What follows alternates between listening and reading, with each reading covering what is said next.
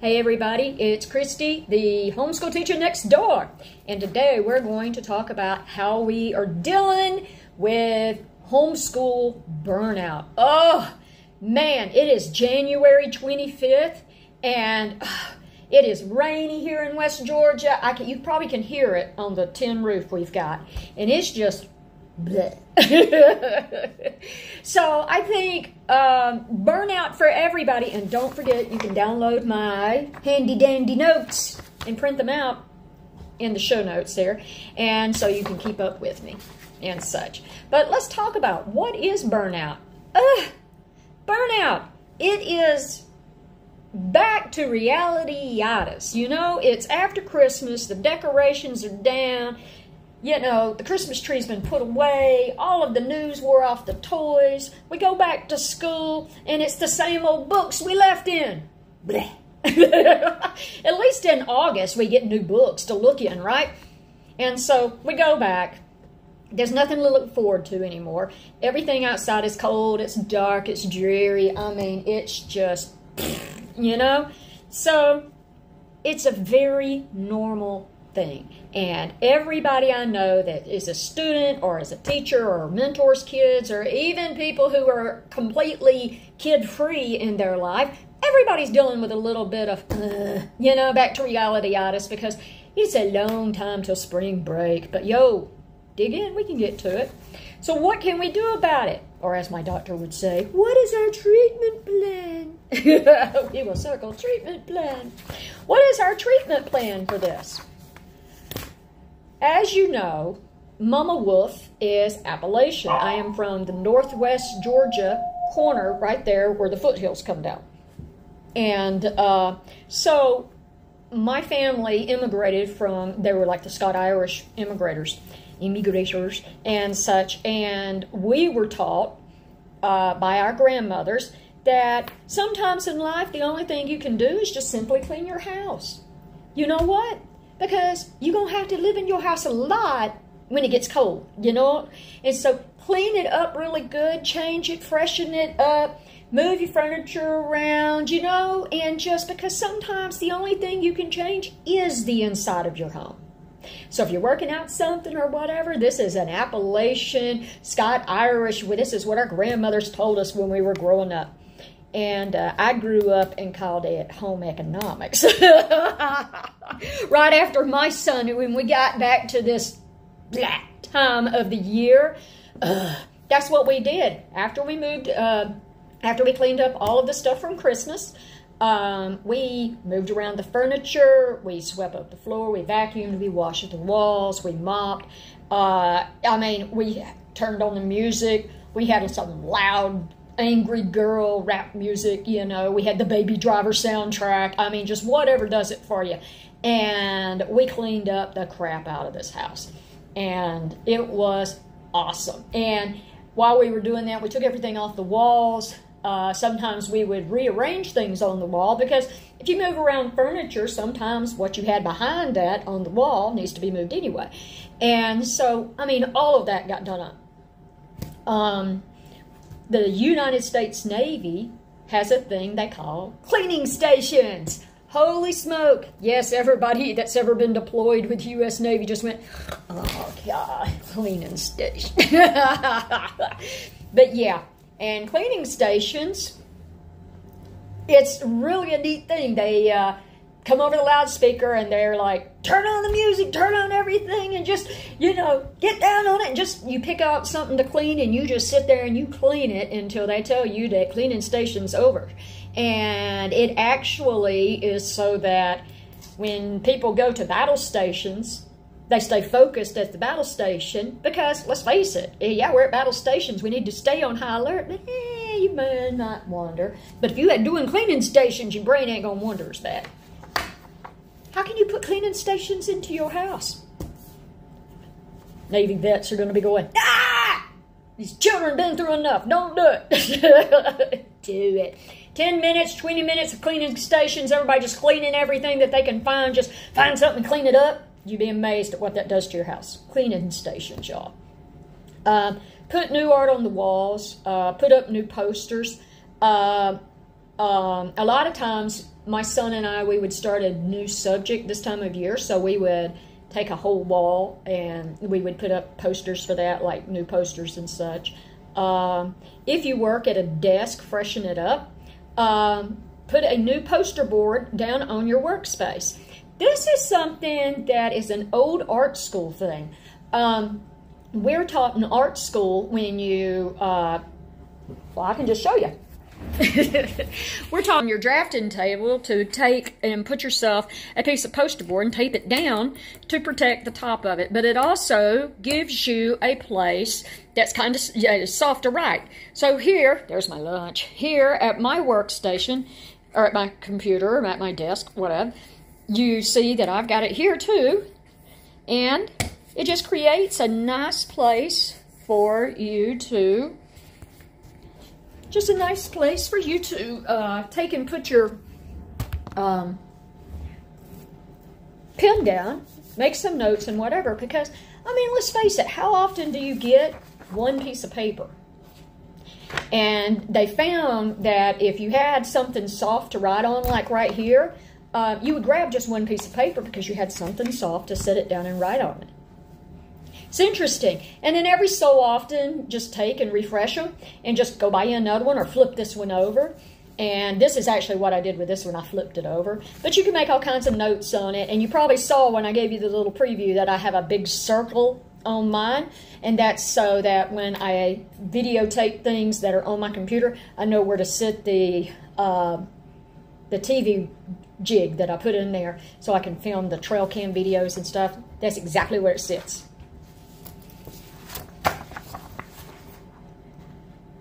Uh, clean up your drawers and organize. Clean up them drawers. clean up your drawers and reorganize your stuff. Seriously, have pens, pencils, memory cards, phone chargers, index cards, highlighters all in the top drawer. Maybe a bag of Skittles. Oh, now that is some good advice. Mmm. I'm devastated. I ate all my Skittles. Workbox systems. Oh my goodness, I love a workbox system. Back when uh, we lived in the uh, on the other side of Atlanta, um, this was the hot stuff. And all of the homeschool mommies, we'd get together on the playground, and as our children were over there, you know, having their Lord of the Flies moment, we were sitting around and we were talking about our work boxes. Hey, what are you using for your work box? How did you decorate it? Blah, blah, blah, work boxes. Oh, this is so great. And it is not my brainchild, obviously. And it is, I don't even know who cooked this up. But, um, you can go on Pinterest, you can Google it, and it's Workbox. And basically, you get a, uh, a box per every subject that you're doing with your child, and you put everything in that box for that subject. Okay? So, like, for example, in your math box, you're going to have your math textbook, a notebook, a pencil, maybe two to do your math, erasers, any math manipulatives, uh, calculator, you know, whatever you're using in your math class. And, you know, like for literature, you can have your textbook, the book that you're studying, your notebook, a pen to write with. Always include something to write with and such because the idea that you're doing is you are providing this box that has everything your child needs to do that subject, even the doggone pen. There's no reason they need to get up out of that seat they grab that box, they sit down, here's an index card. That's usually how I did it, is I put an index card on the front telling my son what I wanted him to do for the week. And the reason I would do per week rather than per day, because sometimes he would do a whole week's worth of that work right there. And that was totally fine. Um, let's see. Um, online classes. Absolutely. Make a box for that too. Um, because there's still things that you need when you're taking a class online. Um, I'm taking uh, drum lessons right now online, and so all of my printouts and all of my notes and stuff like that they go into a little binder that I have, and I put it over here. Next, it's actually on my uh, music thing and such. But you know that's perfect stuff for a work box. Um, through the years, we used different things. In elementary school, we used like 12 plastic shoebox size box. I, I think we went to like the Dollar Tree or something and got them. And so the shoebox size boxes that are made out of plastic, and then we just simply put them on a shoe rack. So they were kind of sitting like that so you could see what was in the box. Um, in middle school, we used eight magazine holders. They were like the little cardboard ones that you would get from IKEA. And my son had a bookshelf and he would just put all of his stuff in there. And that was nice because he would also go to this co-op where he had to take maybe three or four of those subjects. So he would take the subject, the whole box, out of his, off of his shelf and just set it down in a rolling box cart that he had and just put a lid on it. It was it was great. So, um, and then in high school, um, most of his stuff he was doing online at that point. So he put a crate right there in that place on his um, shelf, and he had hanging folders in that crate. And that's how he did his work box. Mm. But it's good stuff. And it was funny because anytime that we went away from doing not using work boxes, we never got anywhere close to that done. It's good stuff. Pinterest is full of great ideas on work boxes and workbox systems. Give that a look. Um, another reason that I would give my son everything he needed to do within a week, sometimes it was throughout a month, is because he really liked doing what is called block scheduling. So that means that the majority of his day he's working on something and like one subject. Now my son, he's engineer, he loves doing stuff like that. So a lot of days it would be that. He was working on an engineering project or something. Uh, 3D printers, uh, he makes prosthetics. Uh, the um, Facebook group right now has a banner of a 3D printed prosthetic. That's one he has done. And pretty cool stuff, huh? But you know, you, you really need more time than like 45 minutes a day to work on that. Now, there are some subjects that you really need to hit every day, like your math, uh, your science, no, no, I'm sorry, not your science, but your math, uh, a foreign language, things like that you need to stay familiar and in practice with. And that's not going to cut it just doing a whole week long lesson and then go back and you know you need to practice. And music music's another one. You need to practice that every day. I need to be practicing my drums but we ain't talking about me. Mm. this also is great for a big new pro a new big project. I knew that sounded funny. Do you know that when you stack um, adjectives in english you're supposed to put them in alphabetical order? Because it sounds more correct when you say it. Like this, for example. Great for a new big project is what I've written in my notes, but that don't sound correct, does it? Great for a big new project. How about a big and new project? Interesting. Tackle something bold like a science fair project. I mean, come on. Science fair is going to be here before you know it, kids. Don't call me up at 11:30 the night before and say, "Hey, what can I do for the science fair before tomorrow?" Pick out what you're going to wear to go and support your friend because you ain't going to be in it. um, some homeschool groups that we have been members of before have had things that were a history fair project. This was really interesting because it was just like a science fair, but instead of you making the big poster and you studying it, it was like uh, about a concept or something. Wow, the rain is really coming down now. Um, I'm gonna turn off my heater. Um, because when you um, go and you study so much about science and you make these big poster boards and stuff, and then um, you can also do that with a history subject like a person or an event in history. And that's what they would use this for, and they'd get everybody together, and we just had a big history class because it was a history fair of all these different events and people. It was fantastic. If you're up for something really bold, let your student pick a subject and then teach it to you. Our eighth grade science teacher did this, and it is so true. You learn so much by turning around and teaching it to somebody else.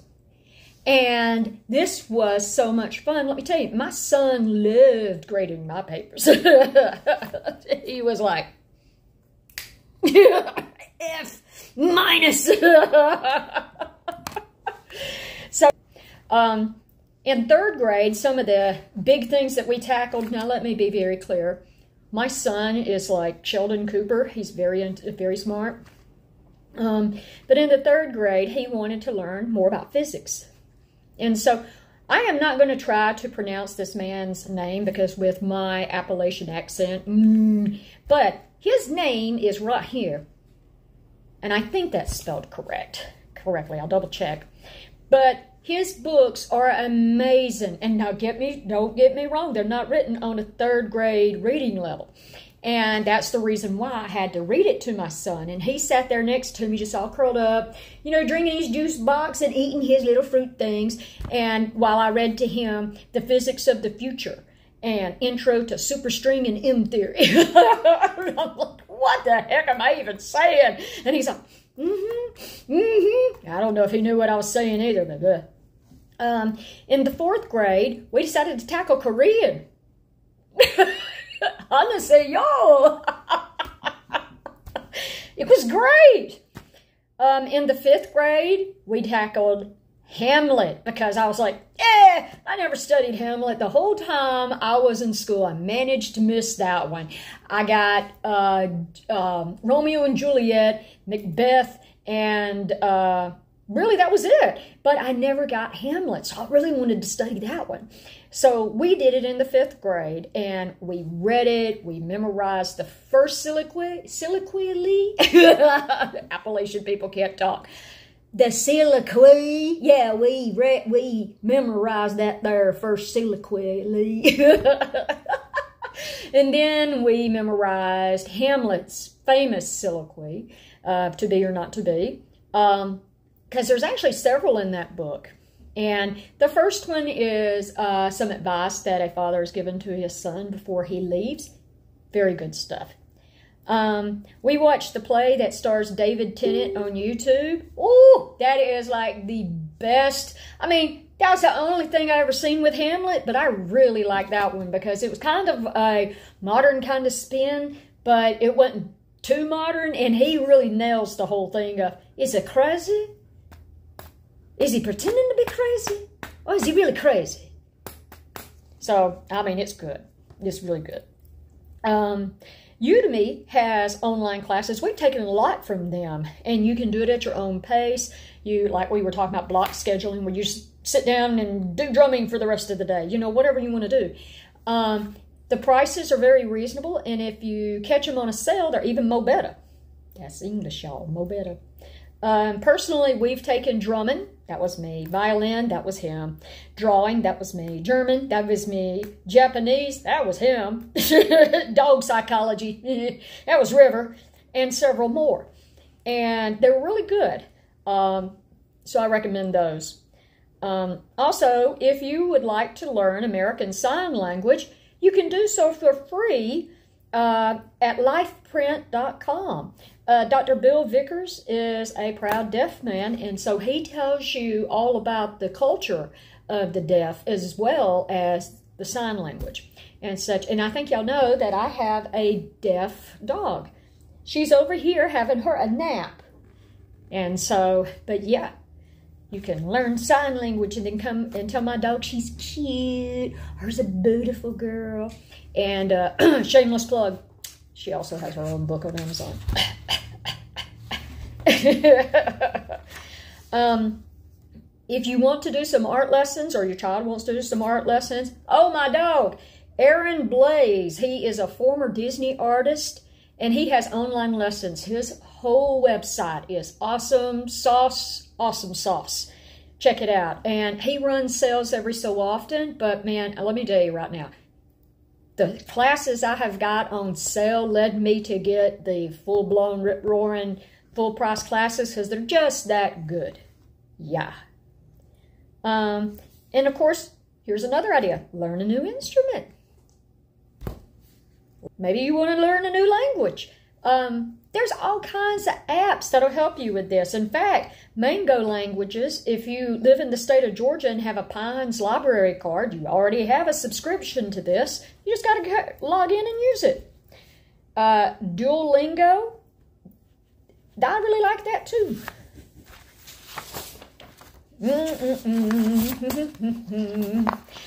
If you have a student that's interested in joining the military, hmm, this would be something interesting for them to do. The United States Navy has a Adobe PDF file of their basic military requirements textbook online.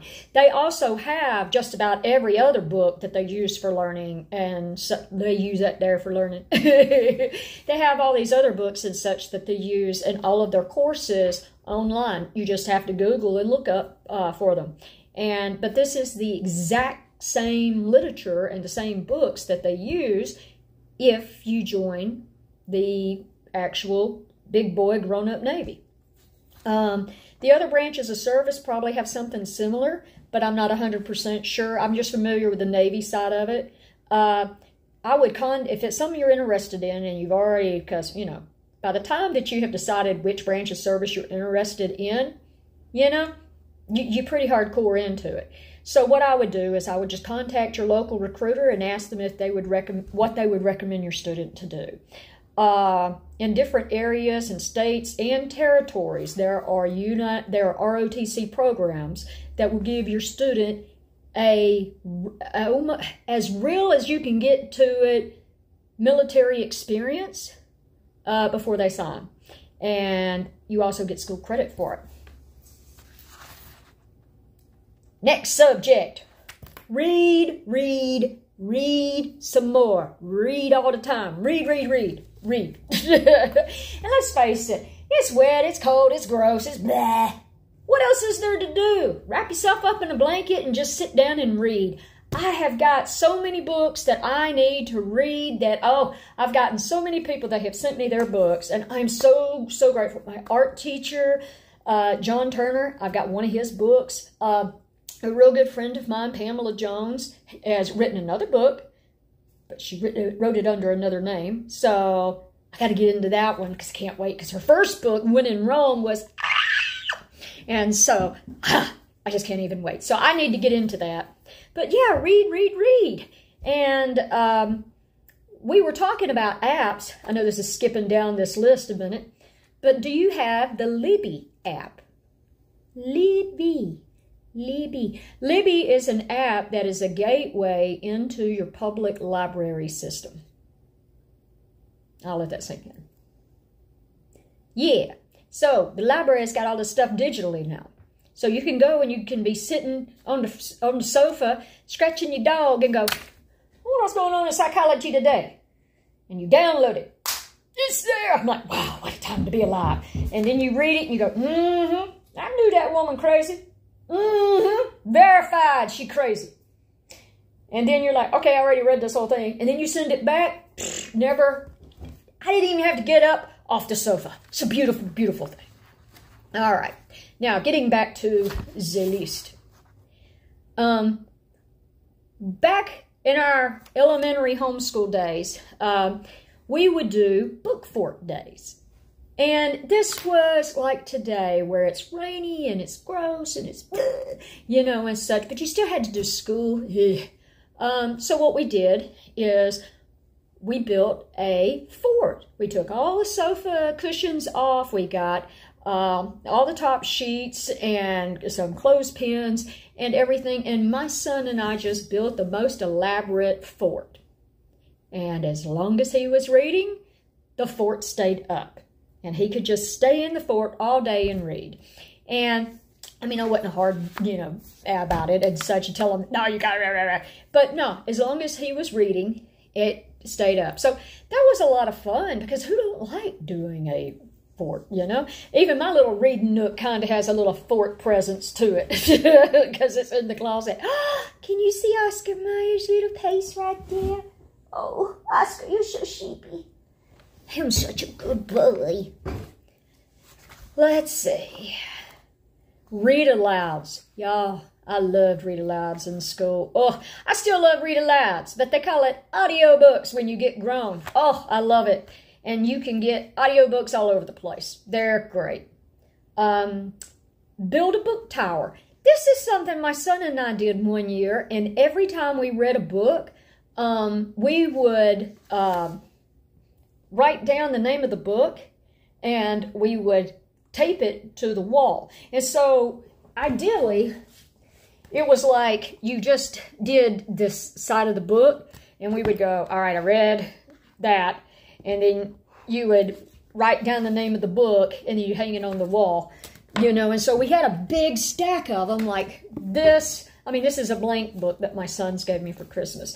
But I would, I would take and put it down like this, and I go, War and Peace of Mom's Life, you know? And then we would cut it out and we'd tape it to the wall. So by the end of the year, we had this huge tower of all the books that we had read and how thick these books were. And it was pretty groovy. It was a moment for all of us. Mm. Um, have your student pick the book that y'all are going to read. You know, I was really surprised. After we finished homeschooling, uh, my son and I both graduated in um, 2022. And um, I was really surprised at how many books he was asked to read that were the same books I was told to read you know, I just, I don't get down with that. And so the requirements I had for my son in reading in high school was read a banned book, read two books, if not three, of someone of a different race and our culture and our religion. Because you know, that is like the most powerful thing you can do is read something through somebody else's eyes. Wow. Wow. Good stuff. And then the other book I had him read was um, Extreme Ownership by the U.S. SEALs, uh, or a couple of the, new, new, the Navy SEALs. And that basically saying, you're going to screw up in life. When you do, just own it. You know, and that's what we required in our literature program at home because I felt like that was more beneficial than things that he would read that he wasn't really interested in and he just told me you know he just read them because i told him to you know? And so i wanted him to read something that he would fall in love with but with a broad enough scope of such that i could um, that it would keep his attention. Does that make sense? Okay. So that's where I'm at with that. Just you know, we read the same books in school, and I get it. There, there's you know banned books and such, but hmm.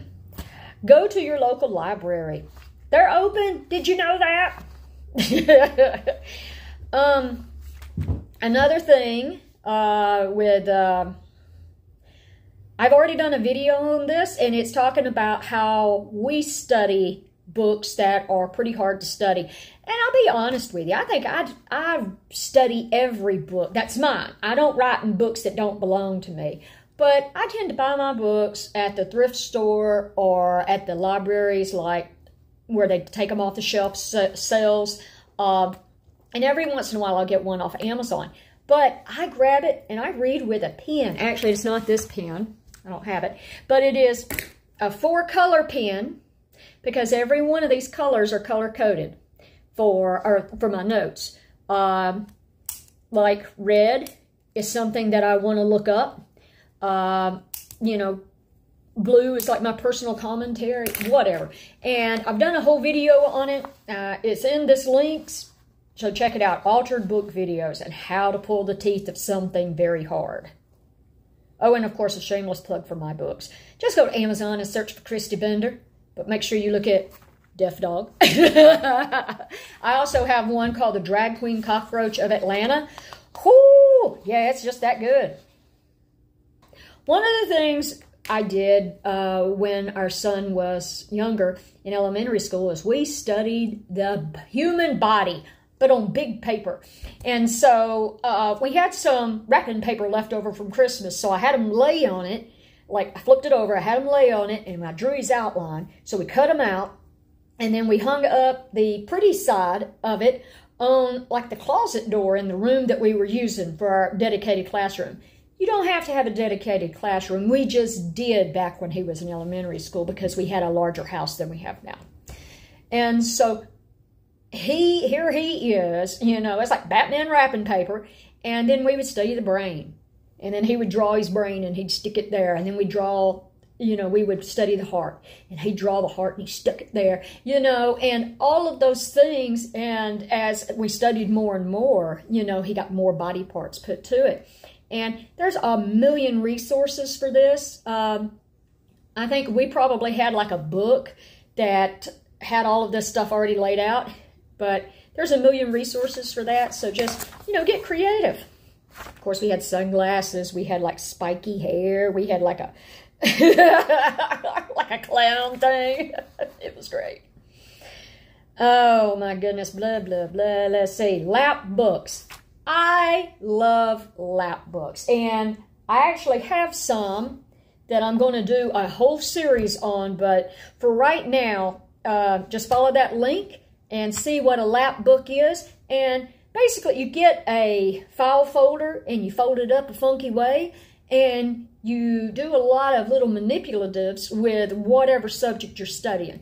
And then as you finish the manipulatives, you cut them out and you glue them onto that uh, file folder that you have bent up a funky way. So it's an art thing and it's a keepsake, but it's also, there's a lot of work that goes into those things. And the kids love it because they've made it their own.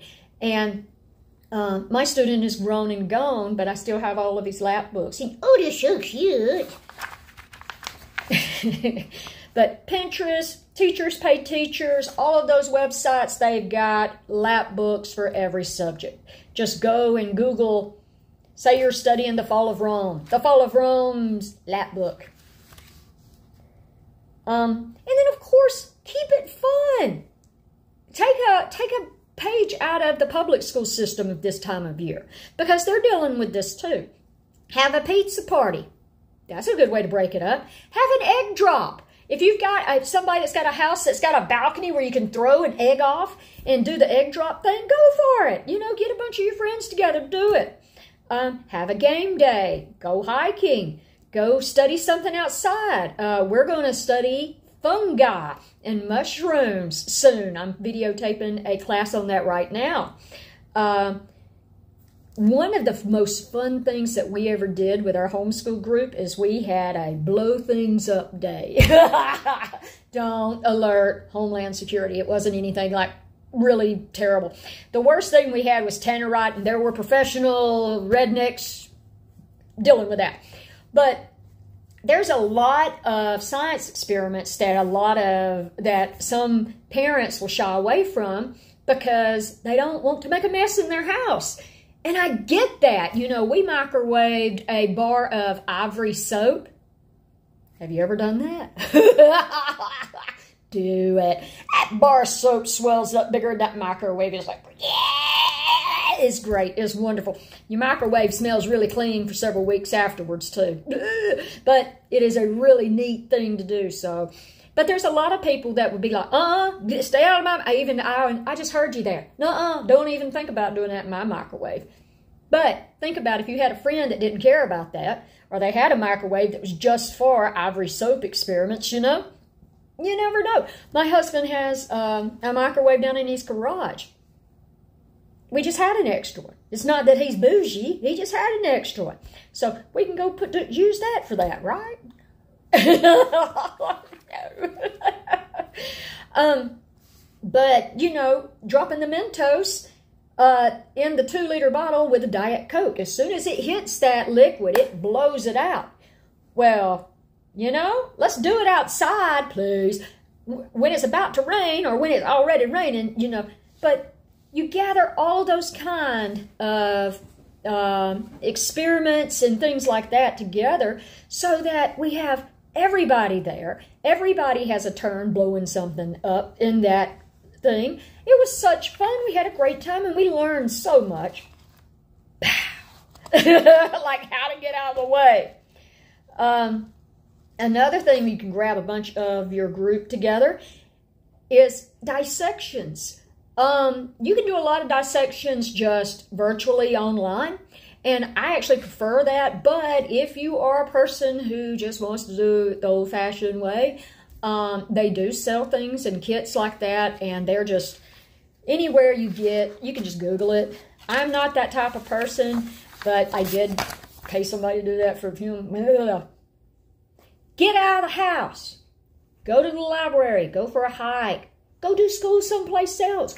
We used to go to do school at the Chick-fil-A, and that was awesome because uh, he'd get a milkshake, I'd get a sweet tea, and they kept refilling it. Ooh, I mean, the sweet tea, not the milkshake. Um, go to a museum. We started doing field trip Fridays when it was kind of blah like this, and that was wonderful. And you don't have to actually leave the house to go on a field trip. They have virtual museums all over the place. And I know that we went to see the Vatican online. And they also have Google Moon and Google Mars, just like Google Maps. But it's on the moon and it's on Mars. It's pretty wild stuff. Check that out. Also, don't forget to include arts in your homeschool program. This was something we really struggled with, which was interesting because I'm an artist by trade, but my son is a scientist by all love and everything holy. And so we struggled to get the arts into the class. So if you see this behind me, this was a painting that we did, or he did, and it's like one of the few art things that we did in our homeschool because it just, we never really got around to doing them. But I will tell you, definitely paint, draw, create, sing, dance, act, any of that stuff. It's so important. And there's a lot of people that's how they express themselves. And you know, with children, a lot of times they have uh, struggles expressing themselves because they lack the vocabulary and the life experience to really articulate what they're trying to say. So, mm-hmm, let them draw a picture.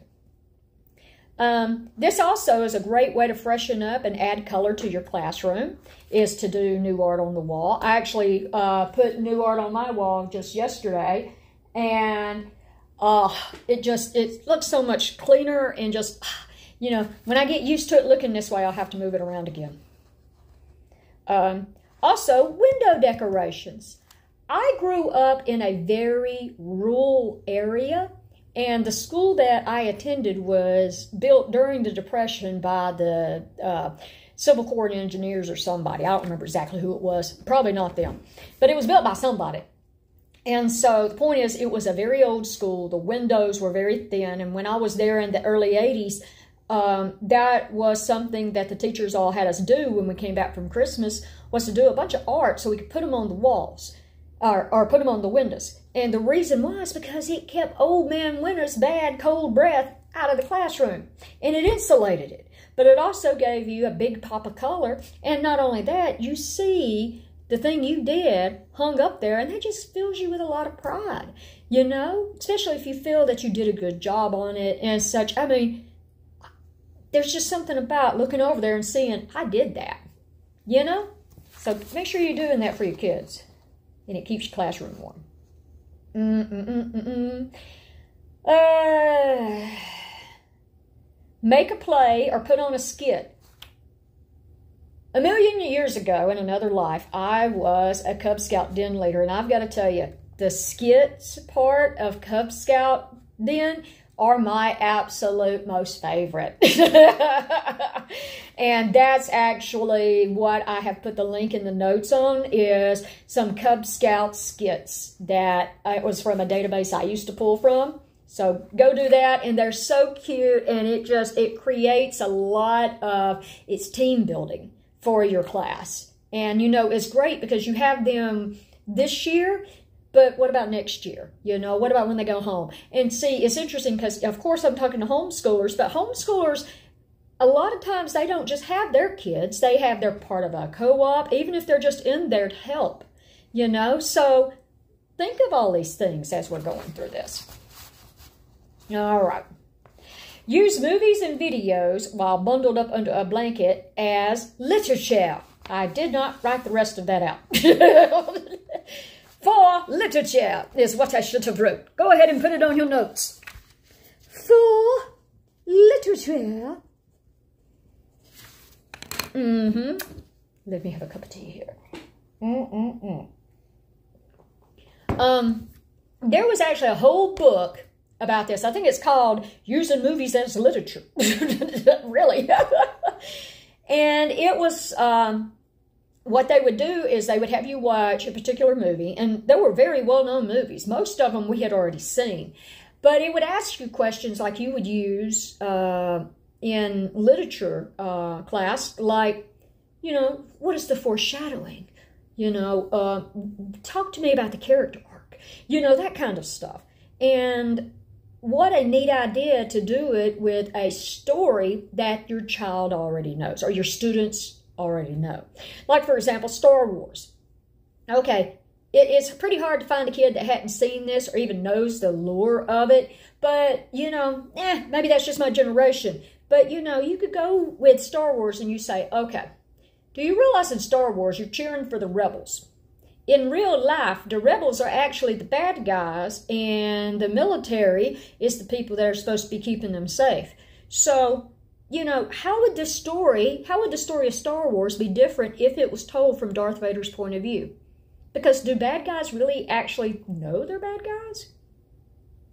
I mean, there's a lot you can unpack right there with that, you know, just, eh. and I encourage you to talk to your kids about stuff like that because it's over dinner and such. You can have these wild conversations. Um, I know that at our table with our boys, uh, we have a lot of superhero conversations. It's always like, all right, Iron Man, Batman, who'd win? and we all know the answer to that. Okay. Um, also, PBS did a fantastic uh, series where they've done several of them, and they're called the, I call them the House series, even though whatever. But uh, that's where they would uh, recreate a like a setting, um, and they would put modern people back in that setting. For example, they did one where these people went back into the pioneer days when during the Western expansion uh, and so that's called Pioneer House. Uh, they also have one that's the 1900s house, uh, the 1940s house. That one, the 1940s house is my personal favorite. They put a um, modern English family back during the Blitz in 1940. Oh, it's so good. Colonial House. Uh, that is so good, but wow. Did that experiment just go pear-shaped real quick. And then Carrier. Okay, Carrier got some swearing, actually got a lot of swearing in it because uh, this is following a Navy ship, the USS Nimitz, on a deployment. So I think they bleep it out, most of it. Swearing don't bother me.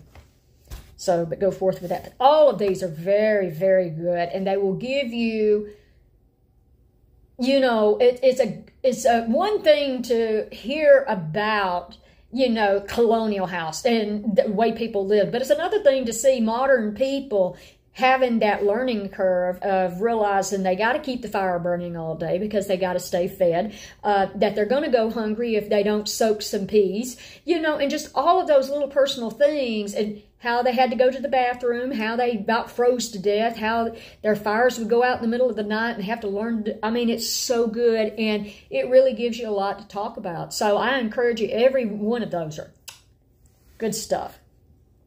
Mm. Reach out to mentor a new homeschooler. Do you know how many people start homeschooling after Christmas?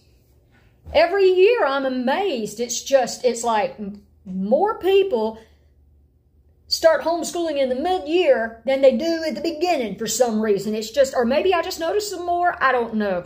But in the homeschool uh, group that we left back in our old town, they had a mentorship program like this. And so they had a lot of great stuff. And I had no idea how spoiled we were as homeschoolers over there. But let me tell you, this is what some of the things, just some of the things that that homeschool group provided.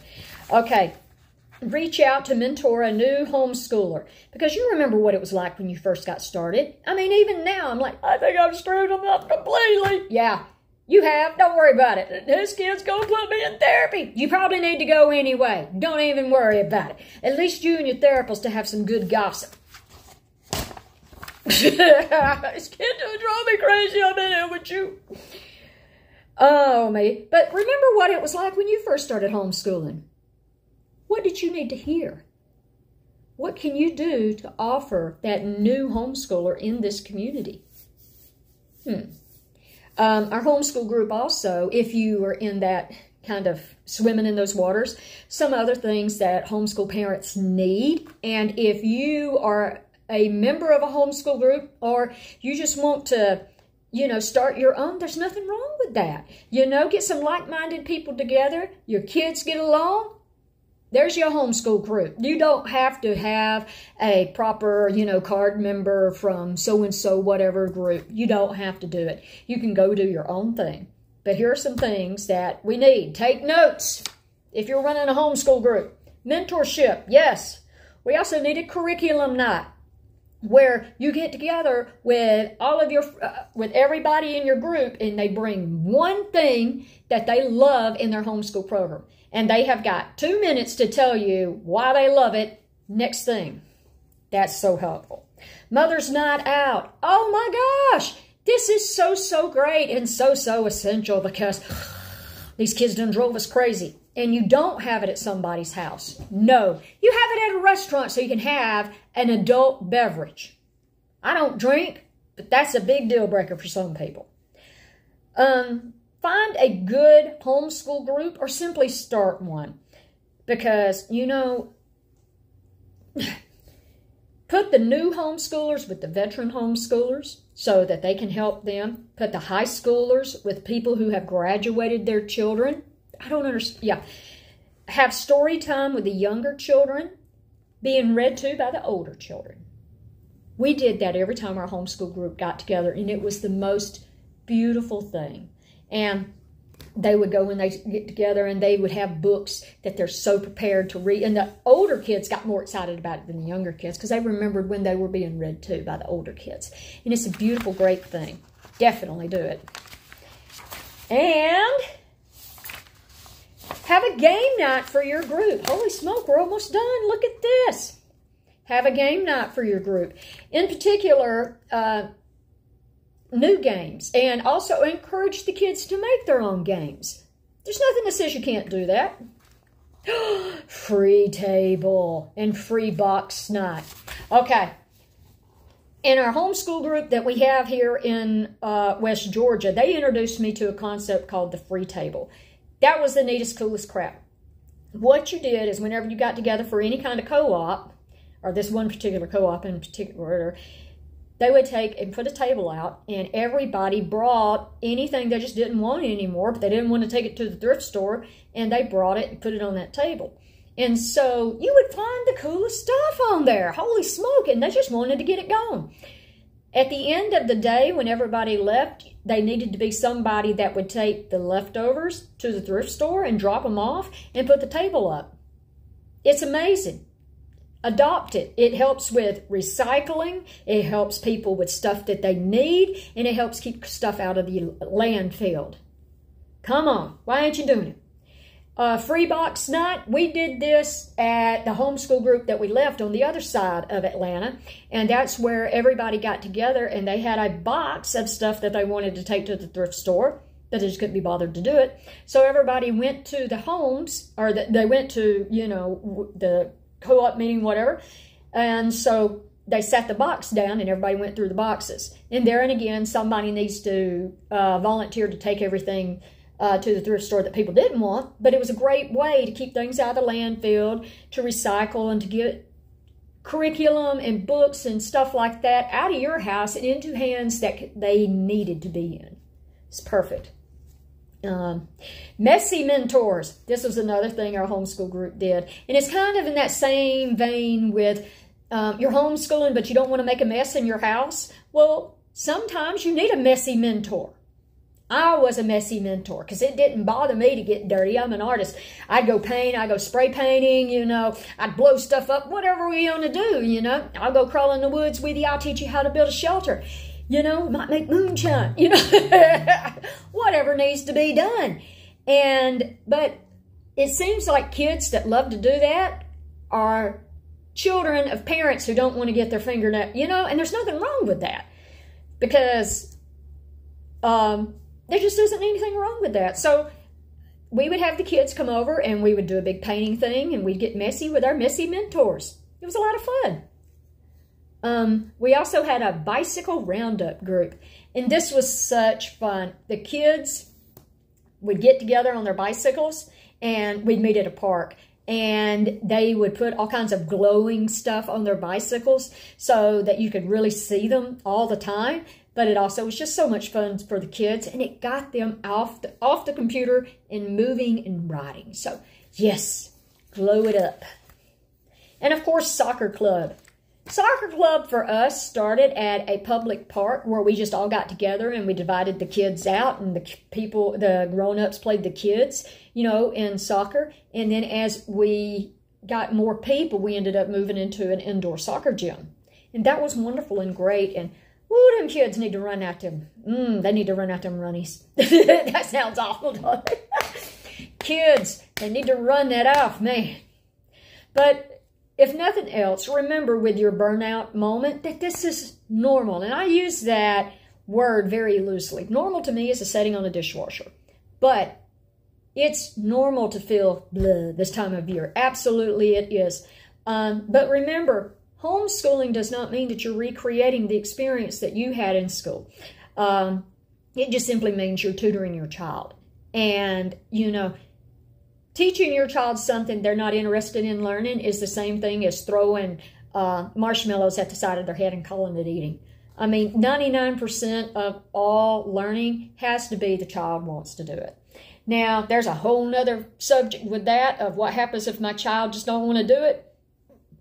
Excuse me, we'll get into that another time. But today, I hope I have given you something that you can find useful and you can download Dealing with Burnout, Mama Wolf's cheat sheet down below. And tell me though, how do you deal with burnout? Tell me uh, down below. And uh, if you like this video, you want to see more like it, subscribe. And uh, what other things do we need to talk about? All right, thank you for attending my lecture, and I will see you soon.